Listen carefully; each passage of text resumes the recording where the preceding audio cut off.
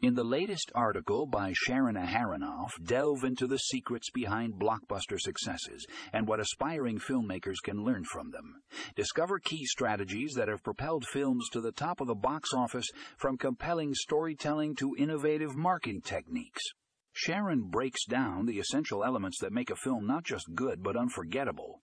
Explore how understanding audience psychology can transform a mediocre idea into a cinematic sensation.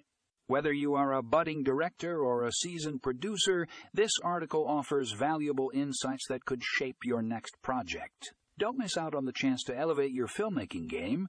For more details and to unlock the full potential of your craft, click the link in the show notes